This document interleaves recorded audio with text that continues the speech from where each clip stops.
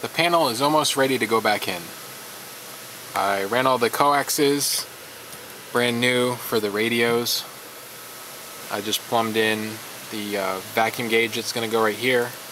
Had to extend some lines and then reroute some other lines here for the the, the backup gyro horizon that's going to go right here. So new lines for that. Uh, everything else is wrapped up underneath. All the circuit breakers are in. I got some holes to fill there. The uh, mic and phone jacks are done. I got one uh, more harness to make for the aft audio, but that's pretty straightforward.